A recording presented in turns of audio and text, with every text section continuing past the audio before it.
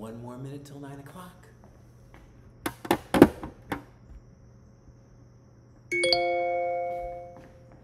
is very loud.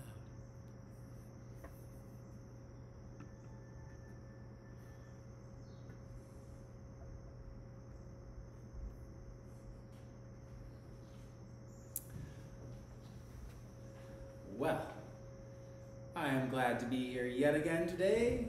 It is Friday, Aloha Friday, as we say, and good morning.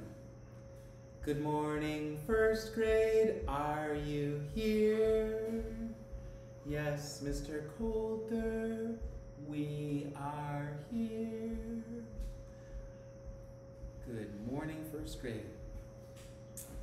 The sun with loving light makes bright for me each day. The heart with sacred power gives strength unto my limbs. In sunlight shining clear, I am reverent. The strength of humankind has so graciously been planted in my soul that I, with all my might, may love to work and learn. Toward us comes light and strength. From us rise love and thanks.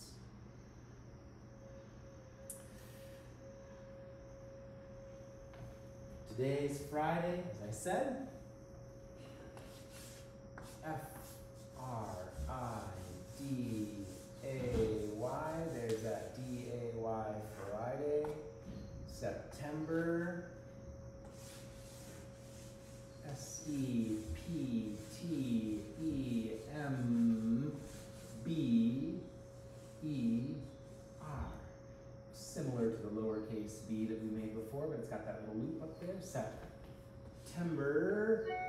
Today is September 5th.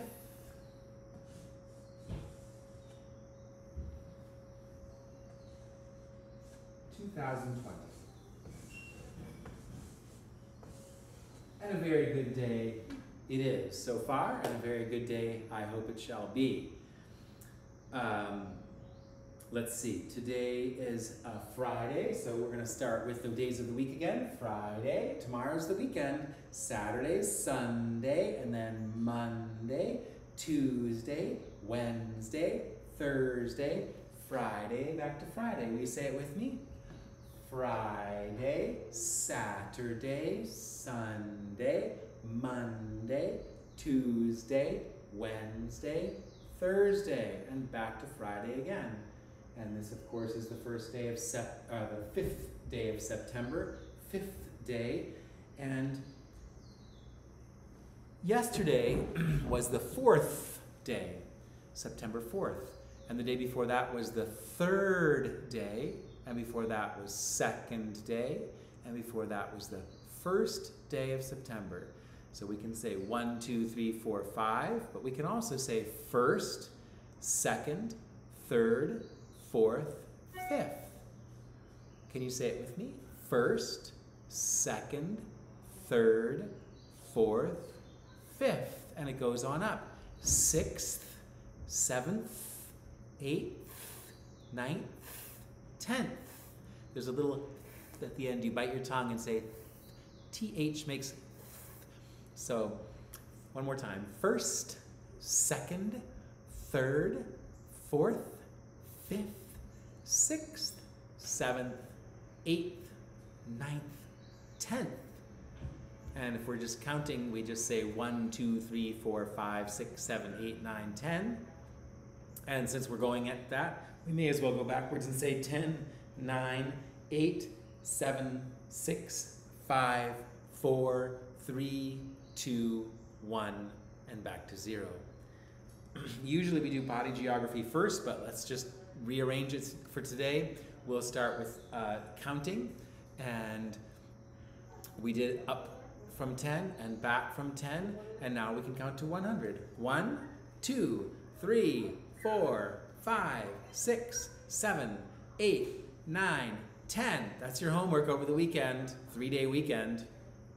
Just count to 100 as many times as you can until you have it nailed down tight. 11, 12, 13, 14, 15, 16, 17, 18, 19, 20, 21, 22, 23, 24, 25, 26, 27, 28, 29, 30, 31. 32, 33, 34, 35, 36, 37, 38, 39, 40, 41, 42, 43, 44, 45, 46, 47, 48, 49, 50, 51, 52, 53, 54, 55, 56, 57, 58, 59, 60, 61, 62, 63, 64, 65, 66, 67, 68, 69, 70, 71, 72, 73, 74, 75, 76, 77, 78, 79, 80, 81, 82, 83, 84, 85, 86, 87, 88, 89, 90, only 10 left, 91, 92, 93, 94, 95, 96, 97, 98, 99, 100. We made it again, all the way to 100. And now counting by tens, 10. Show me 10 fingers. Show me 10 more and say 20. Show me 10 more and say 30, 40, 50, 60, 70, 80, 90, 100. One more time by tens. This time I'm going to use one finger at a time. I'm going to pretend that there's 10 in there. 10, 20, 30, 40, 50, 60, 70, 80, 90, 100. Here we are. 10, 9, 8, 7, 6, 5, 4, 3, 2, 1. Blast off. Okay. Um, I guess we'll go on with Betty Botter and then go back to body geography. Po-oh. Remember? Here we go. B -b -b. Practice your b, sound. Betty Botter bought a bit of butter. But, she said, this butter's bitter. If I put it in my batter, then my batter will be bitter. So Betty Botter bought a bit of better butter, and she put it in her batter, and her batter was not bitter. I'm going to count how many b sounds there are in that. You can count with me. Let's see. B Betty Botter bought a bit of butter. But she said this butter's bitter. If I put it in my batter, then my batter will be bitter. So, Betty Botter bought a bit of better butter and put it in her batter, and her batter was not bitter. Oh my goodness. That worked out nicely. I just remembered I better do this. Ninth day of school. And these we can count by fives.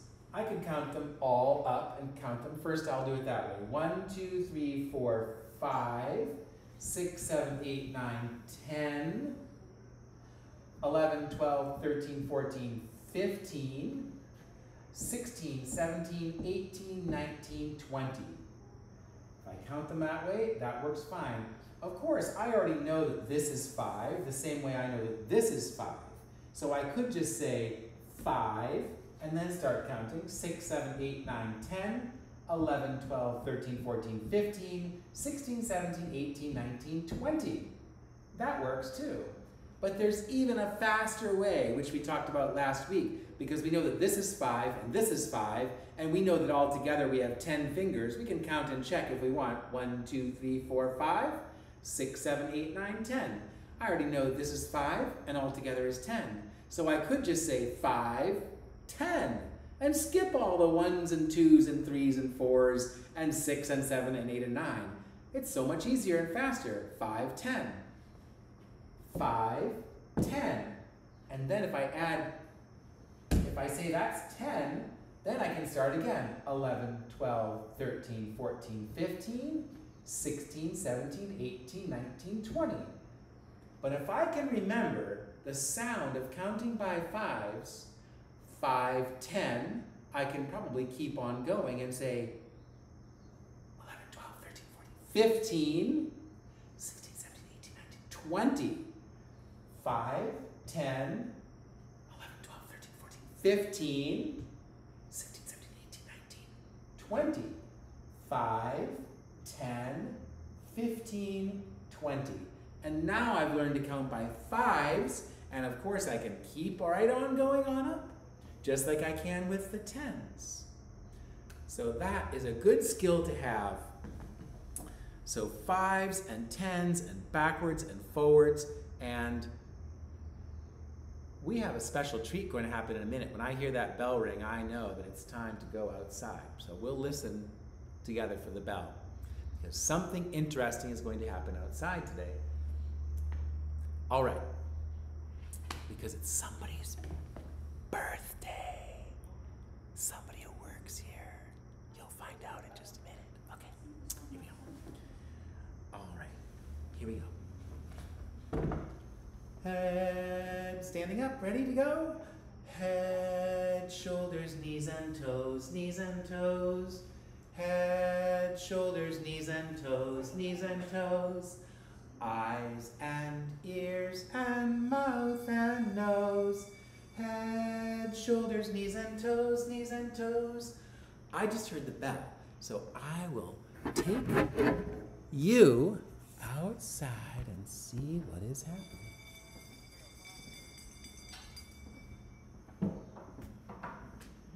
Let's see what is happening.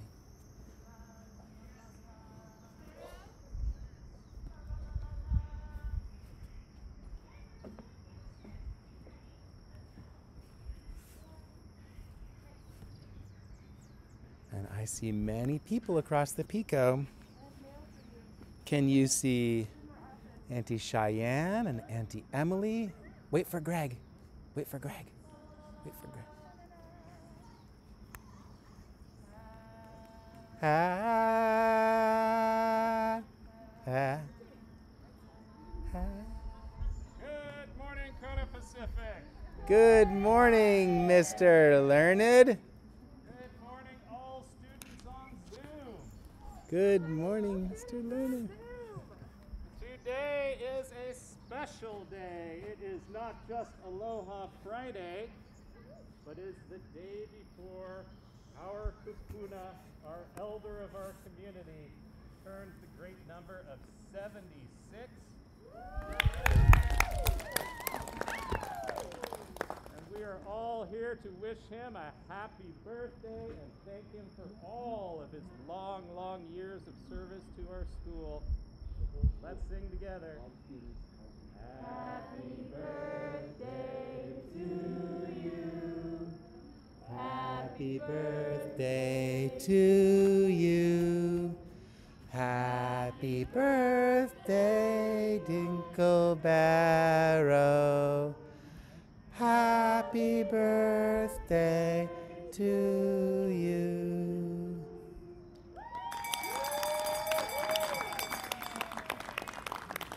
Yeah. And many more. Mahalo, my friends. Mahalo.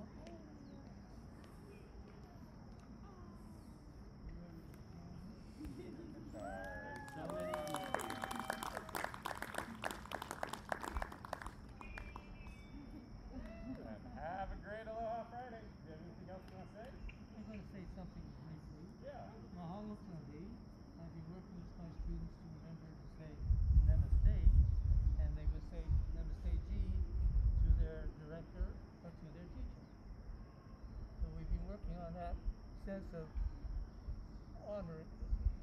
And so, I think this is a great preliminary for a return party. Probably May. Thank Look you. forward to it. Tea today. There's a tea party for you here all day. Who types the tea? Ma- Mamaki? Mamaki and what else? Mamaki, lemongrass, uh, hibiscus, and uh, tulsi tea. So the red one is hibiscus and lemongrass, and the other one is tulsi and mamaki Great. from our land. Okay.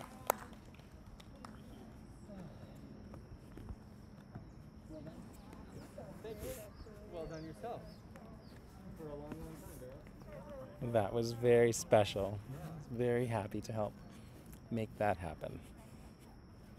Uncle Barrow has been working at our school since I was a little boy.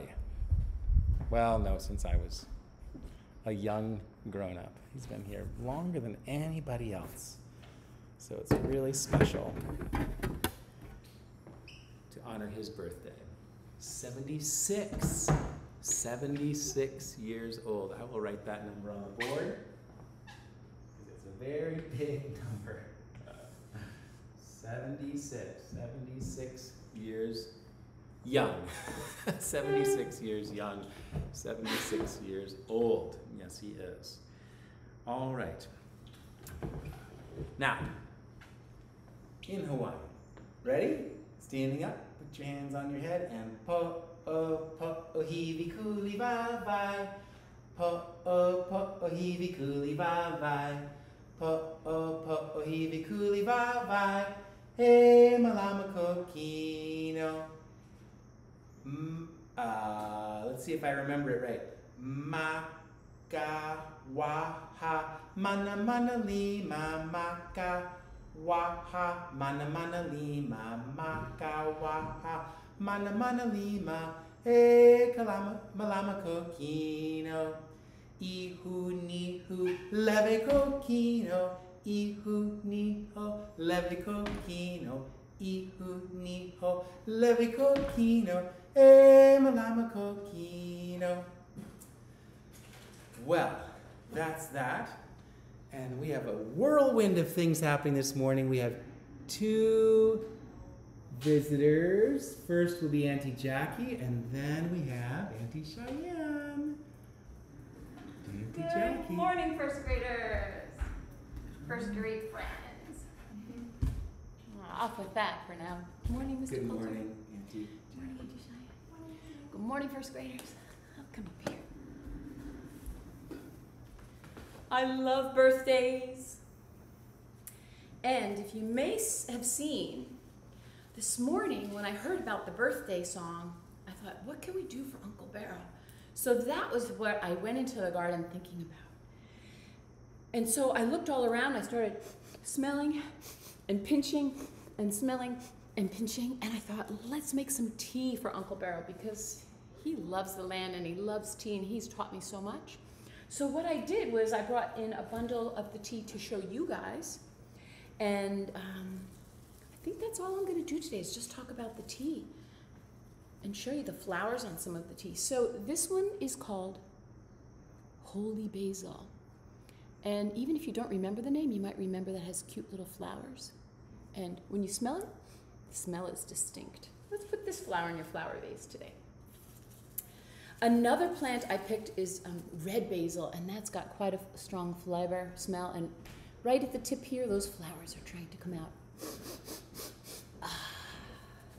And I went for more leaves in this hibiscus plant. And this hibiscus plant, when we put hot water on it to make tea, makes the color of the water a certain color. I'm thinking you might imagine what color this one would make your tea. And this one, it doesn't smell as sharply as the other ones, but it's got a tang. So I washed my leaves. Mmm, that's really got a nice tang. That's how many leaves have we seen so far? One, two, and three leaves. We've been looking at three different ones. I got two more leaves to show you about the tea. And this one, do you know this one? It's making small berries right now. It has a red stem when it's young. This one is called mamaki. This one has lived in Hawaii since it was born. And it was in Hawaii for thousands of years. This one is very yummy and um, more neutral, not as tangy. And the last leaf, it looks a lot like grass. The flavor comes from the grass, but also the flavor comes a lot from this part where it meets the ground. It's very bulbous. And this one, I washed it. Mmm, this one is called lemongrass. Ooh, this one's very pungent and nice. You put all those leaves together, you put them in a pot or a glass, put hot water on it, wait a little while. Mm, it's good tea. So the tea's out in the Pico for a little tea party. I invite you to have a tea party with your family this weekend. Maybe you can find some leaves in your garden, and if you don't have that, you could get a tea bag from your house and get some help for the hot water and enjoy a little tea party. It's a time to like rest, and maybe you could bring your teacup out into the garden or out on your lanai to look at the clouds. On Aloha Friday, we start thinking about ways to like think about our week, relax a little. So my Aloha Friday to you is think about tea, and we will see you next week. Thank you. Thank you. Thank you so much. You know, it makes me think your presentation and your presentation out there reminds me of something I know very little about uh, the Japanese tea ceremony. Mm. In Japan, of course, Japanese culture is very prevalent here in Hawaii. Mm. So I wonder, it makes me think, I think I will find out a little bit more about that. And I somehow am guessing that the honor which you were showing Uncle Barrow is really the spirit of that tea ceremony, probably to begin with. Ooh, thank you pointing that Yeah. out. So thank you for bringing that today. And um, it's so pretty to see it there with the sun shining on it, and that was some, one of my effort. And the other one was that he gets to see all the leaves in the basket, like you guys can see it right now. Have a good weekend. Here's our next visitor. Thank you. Thank you, Jackie. That's some Cheyenne. Auntie Cheyenne. I've asked Auntie Cheyenne to come and show you something, and I am not 100% sure what she's going to show you, but we will find out, won't we? Oh, hello, first grade friends! I am so excited to be a part of your class today. As you can see, I've got some fun stuff. So, Mr. Coulter invited me to join in on Fridays so we can do a little, maybe some sciency fun stuff. So I kind of thought last night while I was thinking of what to do with you guys, I was like, you know what? I think we're gonna start calling this Fantastic Fridays because we're gonna be doing some fantastic things that are gonna make you go, no way! So, today I have, and this is something you guys can do at home um, as long as you have the materials or can scrounge them up, find them anywhere. You can do this all on your own. So, first, we have two jars of water. Count them two. And then next, I have two different paint colors, but we're gonna do this without the paint first, then we're gonna bring it in for the second time we do it. And next, we have two sheets of paper. So, first things first, I'm gonna take the paper, I'm gonna fold it up, and it's okay if it's not perfect. You can like crinkle it up, make it all fun. Now, I'm gonna put one end in one jar of water, and we're gonna put the other in the other jar of water. Now sometimes this works if you can like set it up a little bit higher, so I'll just hold it today. Mr. Coulter's helping me out.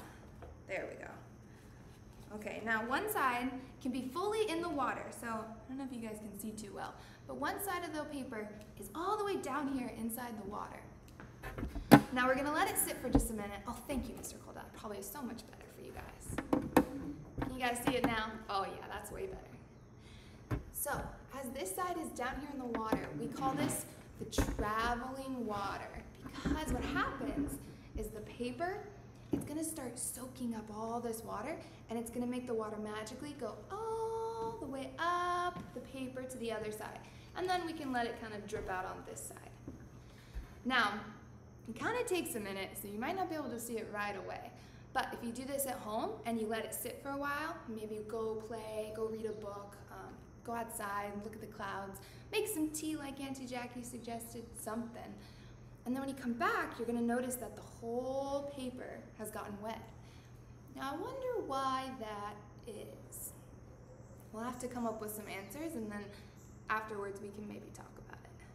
You know what it reminds me of? It reminds me of the when Auntie Jackie um, brought her soil, and you helped prepare all that soil. I know she had some soil in a pot, and it just poured out in a pile.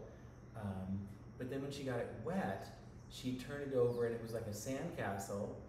And I'm sure the children know just by practice how the water somehow helps the sand stick together. It reminds me of this for some reason. So you can see here, it kind of starts suction cupping almost, like the water kind of goes and it scoops it all together, just like how we do with the soil. Now, I brought the color to kind of help you guys see the water travel. So, if we pour a little bit of water, or a little color in here, and if you at home, you know, don't want to use paint of any sort, you could also um, try to use maybe food color. That works too. Then you put it in there, give it a little swirl. Or even like. the water, if you've cooked some red cabbage, the water that's left over from that. Ooh, I bet Auntie Jackie's tea too, that red leaf, that would probably travel up and make it red as well. So I think maybe Mr. Coulter, we could let this sit and maybe check back in with it, um, maybe a little later on today in your guys' lesson. Um, and we'll have to see how far this water and the color starts traveling all the way up. And I wonder how many of you think it might travel all the way to the tippy top? Or maybe it'll stop here halfway? Or maybe it won't go anywhere? We'll just have to wait and see. But we are going to be doing more sciencey fun stuff on Fridays, and I'm very excited to be a part of it, friends. So, Mr. Coulter, is it all right if we, we let this sit for a little while? Absolutely. All right. It's an experiment, and sometimes experiments have to be Take let time. alone for a while, and we'll come back and check it. So, and I had, like we said, we had two of everything, so we could do this twice.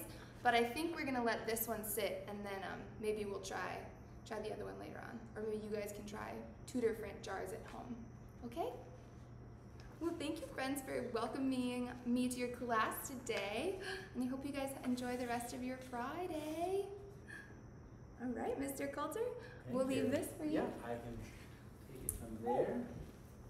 I think I'm going to move this over onto this other one here. Like that. You can see that face. Sure. Thank you. Yeah. All right. Some more things to talk about today. Let's see. Let me get my mind together here. Okay. So, going back a few days, um, sometimes I like to do a little math. Uh, that you have to listen very carefully to, to hear, to count. So instead of just telling you it's five marbles or three cats, um, I'm going to tell you this is how many times the bear who went and found the beehive, this is how many times he got stung. See if you can hear how many times. Are you counting? Did you hear how many that was so far? Okay, count in your mind, or you can count out loud as I keep on going.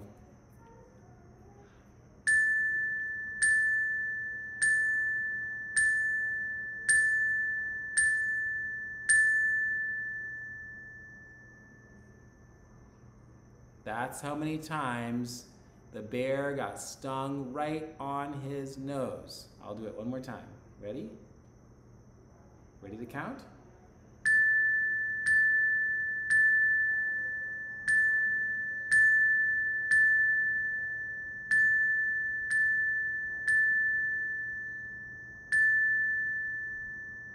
That was the same number of times, but I made it sound a little different that time, didn't I? One more time. Here we go. Gotta go a little faster this time.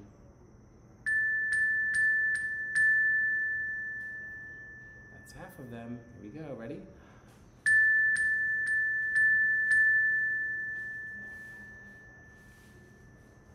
Well, if you were counting, if you could hear that, it was this many times right on his nose. But I think he kind of deserved it for messing up the beehive, all right. Um, so, Uncle David taught you the bear walk, and I hope that you have been doing that. And I wonder if anyone has discovered that you can do the bear walk forwards and backwards. I think bear walking is fun, and I can go forward. And I can go backward. But this time I have to look under my legs to see where I am going. Yes, forward bear walk. And if you've got the skills, you gotta go backwards if you're looking where you're going. Don't try to look that way. Don't try to look like that. Look upside down, underneath as you go. And that is a good trick to know. Believe it or not. All right. So I hope you did that with me because you've been maybe sitting and listening for a while, and now I'm going to tell you another story. All right. So long ago, best beloved, when all the animals were wild and not one of them was tame, the man and the woman were also wild. So terribly wild. There was wild animals in the wet, wild woods and they all just lived in the wet, wild woods together. There was a wild sheep and the wild pig, and there was a wild horse, and there were wild cows, and there were wild dogs, and wild, the most wild of all was the wild cat. Well, they were all terribly wild, but the woman had a different idea. She thought, you know, I don't like these wild, wild ways. I don't think it's very nice to sleep in a wet, wild pile of leaves. And I think I will find a nice, dry cave for us to sleep in because we will be more comfortable and happy. So she found a nice, dry cave and she strewn the floor with uh, clean sand and said, Now we will keep house And the wild man came in out of the wild wet wood and lived together with the wild woman. Well, she hung in the front of the cave a horse skin, a skin of a wild horse with the tail pointing down at the man had hunted. And in the back of the cave, she had a fire to keep warm and to cook their food. Well, they cooked a wild sheep and a wild and ate, were eating wild mutton. And she pulled out from that wild mutton the shoulder blade bone, big wide shoulder blade bone. And she looked at the markings on it. And she made the first magic of the whole wide world. And she sang a song and made this magic with the blade bone of the sheep and the markings upon it. And she smiled to herself and the smell of the cooked meat wafted through the wet, wild wood. And the animals deep in the wet, wild woods wondered what was that smell? And what was that light? And why was it in the cave? The wild horse stamped his foot and wondered, what is that wild smell coming from the wild cave that the wild woman and the wild man have made. No, I wonder if any good will come of it for us. I will go and look and see and tell. Wild cat, come with me. The wild cat said, Oh no, I am the wild cat who walks alone and all places are alike to me. So the wild horse and the wild dog, the wild dog decided he would go. So the wild dog asked the wild cat to come, and the cat refused, and the dog said, Well, we can never be friends again. So the wild dog went to the cave and used his nose to push up the skin in front of the cave and see what was going on. And the woman laughed. She looked at her blade bone. And she laughed and said, Wild animal from the wild wood, what do you want? And the wild dog said, What is that smell? And she laughed again, and she threw one of the bones, a leg bone of the mutton, of the sheep, to the wild dog that was so roasted so well, and the wild dog gnawed on it and enjoyed it greatly. And said, Oh, give me another. And the wild woman said, Well, I'll make you a bargain, wild dog. You go with my man when he goes hunting and help him. And guard this cave at night, and I will give you as many roasted bones as you need. Had snuck along behind and sat where he could hear everything. And the dog said, Okay, I will guard the cave at night, and I will hunt with your man during the day.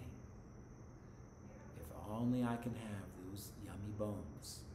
And the cat said, That is a foolish dog. And he walked away through the wet wild wood with his tail in the air, but he didn't tell anyone. Well, next, when the man came home that night from hunting, he said, What is Wild Dog doing here? And the wood woman said, Hmm, his name is no longer Wild Dog, but First Friend. He will go with you hunting when you go hunting and will guard the cave at night. Well, the next day, the man and the dog went hunting together, and the horse out in the wet wild wood stamped his wild foot and wondered what had become of Wild.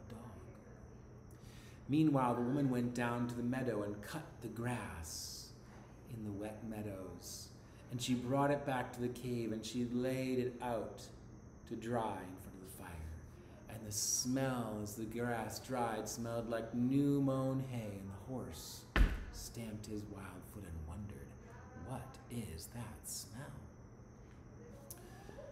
Well, the horse went to see and asked the wild woman, the woman, what is happened to Wild Dog? And the woman laughed and said, You did not come here to wonder what happened to Wild Dog. You came here for the smell of that grass, didn't you? And the wild horse said, Yes, I did. It smells delightful. Give it me to eat. And she said, If you wear what I give you, then you may eat the grass three times a day for always and always and always. And the horse bent his head down, and the woman put over his neck a halter that she had braided from leather. And he wore it, and the horse wore it around his neck and ate the grass. And when the wild man came home and asked, What is Wild Horse doing here? She said, His name is no longer Wild Horse, but his name is now First Servant. You may ride upon his back and take him when you go hunting with Wild Dog, and he will serve you for always and always and always. Well, the next day the man took the horse and dog, and they went out hunting again. And out in the wild wood, the wild cow wondered what had happened to Wild Horse and Wild Dog. And the wild cow walked through the wet wild wood and trying not to get his horns stuck in the trees and walked all the way. And the same thing happened again, and this time again the cat was listening and thought, hmm, what a foolish horse, what a foolish cow. And that is a wise and clever woman, not so wise and clever as me, because I am the cat who walks alone, and all places are alike to me. Well, Wild Cow ate the wild grass, and when Wild Man came home and asked, What was Wild Cow doing here in our house? And the woman said, Her name is not Wild Cow anymore. Her name is First Giver of Good Things. And every day I milk her, will drink the milk and enjoy, and I will take care of her while you are out hunting with first servant and first friend. And the cat snuck away. Well, all the wild animals stayed in the wild wood, and the cat waited to see if some other animal would come. And the woman had sung her magic with the blade bone three times, but had put it away. And the wild cat decided he would now come. So the wild cat came and looked into the cave. And the woman laughed and said, What do you want, wild thing, from the wet wild wood? And he said, What has happened to wild horse and wild dog and wild? And she laughed and said, They are our friends and servants and givers of good things, but I have no need for any more servants or givers of good things or friends. You go and walk in the wild wood by your wild self because all places are alike to you. And the cat pretended to be sorry and said, Well, I would like to come and sit in your cave. And the woman said, Go, you are the cat who walks alone. I do not need anyone else here.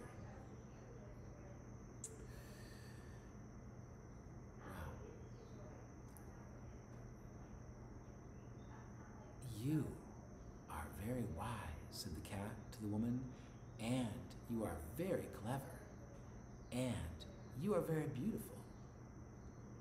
And the woman said, I knew that I was wise, and I knew that I was clever, but I did not know that I was beautiful.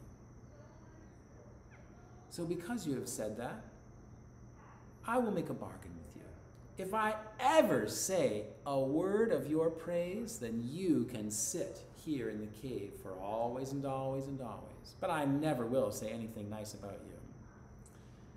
And the cat said, Well, what if you say two words in my praise? And the woman said, That I shall never do. But if I say two words in your praise, then you may sit up close to the fire for always and always and always. And the cat said, And what if you say three words in my praise? And the woman laughed and said, That I shall certainly never do. But if I perchance did, you may drink the warm white milk from first giver of good things for always and always and always, three times a day. And the cat looked up to the horse skin that sat at the mouth of the cave, and the fire that sat in the back of the cave, and the clay pots that sat holding the milk by the fire, and said, You are witness to the three things that I will get if she says one word, two words, three words in my praise. And the little bat who hangs upside down at the top of the cave listened and heard. And the cat went away, walked through the wild, wet wood by his wild, lone self. And the woman forgot about him, because all places are alike to him. Well, the bat came and visited the cat every day. Only the bat knew where the cat was hiding, and gave him news of the cave and the woman and the man. And once he came and said, There is something new in the cave. There's a baby, and he is fat and pink and very dear to the woman who is very fond of him. Well, but what is the baby fond of? asked the cat. Oh, the baby is fond of things that are soft and things that tickle, and he is fond of playing and of sleeping with something warm cuddled in his arms. Hmm, my time has come, thought the cat. And so the cat went back to the wild, through the wild, wet woods by his wild self, with his tail held high, and looked into the cave, and there the woman was, cooking and working, cleaning and making things, and the baby was crying. The woman could not make the baby stop crying and put the baby outside the cave and gave him a handful of pebbles to play with, but still the baby cried. Well, the cat walked up to the baby and rubbed his side along the little baby's knees and walked under the little baby's chin and tickled the baby's neck with his tail and put his patty foot up on the baby's cheek, and the baby cooed and the baby giggled. And the bat came in and said, Oh, woman, something from the wet wild wood is playing with your cat, with your baby.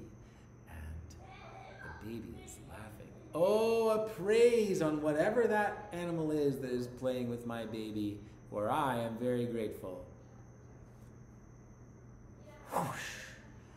The skin that hung in the mouth of the cave suddenly blew down because it remembered the promise the woman had made. And as the woman picked it up to hang it back up, lo and behold, there was the cat sitting comfortably inside the cave. And the woman said, Oh, cat, you have come in, I see, and I have kept my word. Well, I think it's kind of noisy outside. I almost want to close the windows. Here we go. I'm gonna close the windows.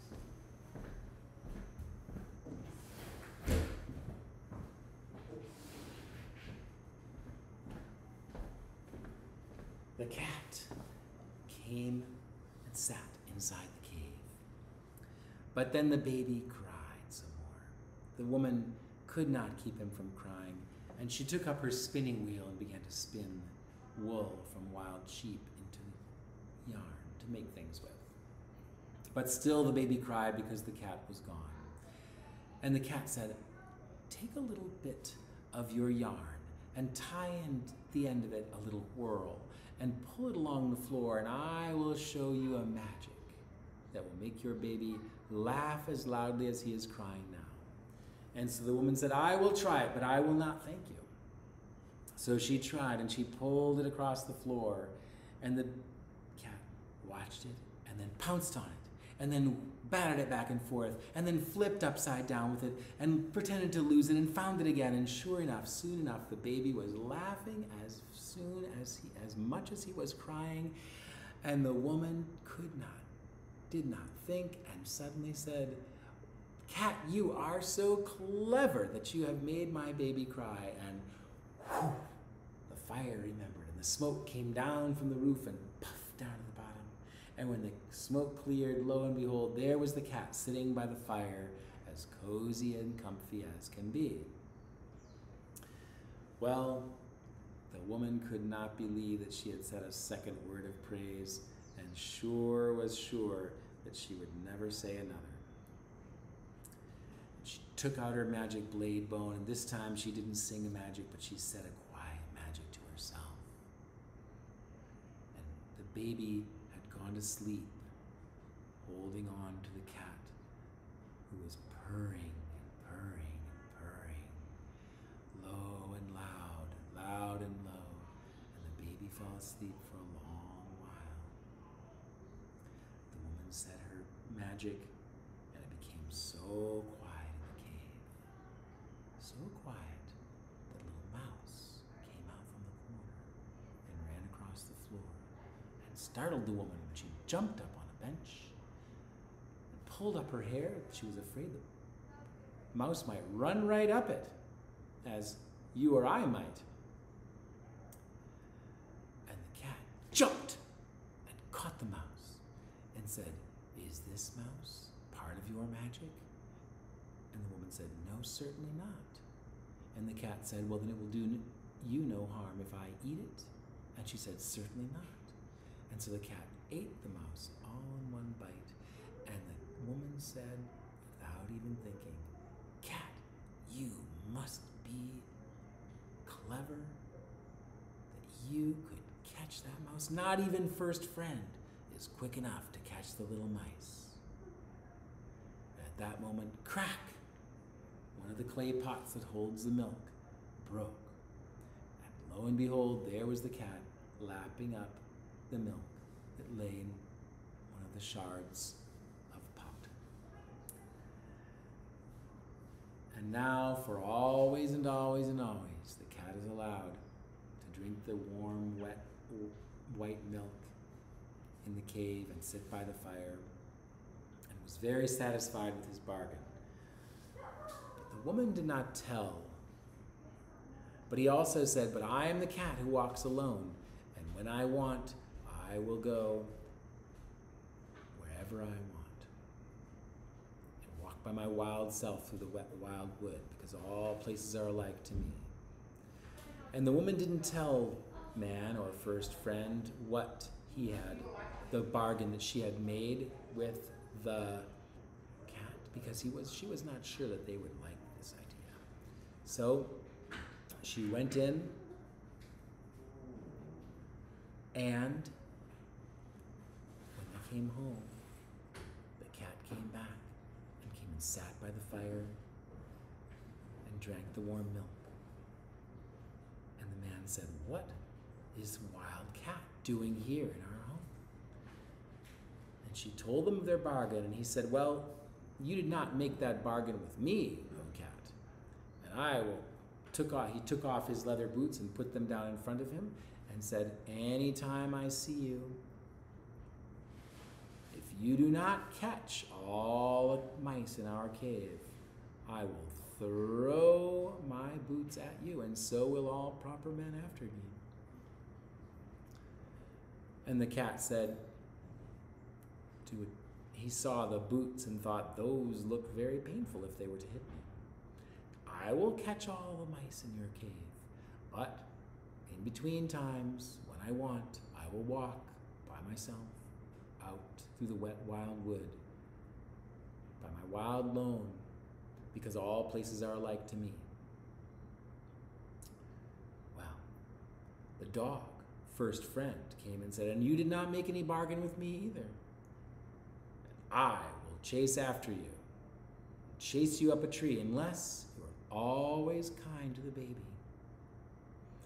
And the cat said, I will be always kind to the baby as long as he doesn't pull my tail too hard. But when in between times, I will walk through the wet wild wood by my wild lone, because all places are alike to me. And the dog said, Well, if you hadn't said that last part, I might have closed my mouth for always. See these pointing teeth? Catch you, I will bite you, and I will always chase you up a tree if I see you outside the cave. And that is how first friend and the woman and the man and first giver of good things and first servant all became themselves. So it is, and so it was, and so it shall be. Well, I will stop there for today because we have run well over time, but I wanted to tell you that last story. And on the next school day, we will draw uh, a new picture. And it will be a cat walking through the wet, wild grass with a wild moon up above. And we will do that on Monday, and I will show you it looks like right now.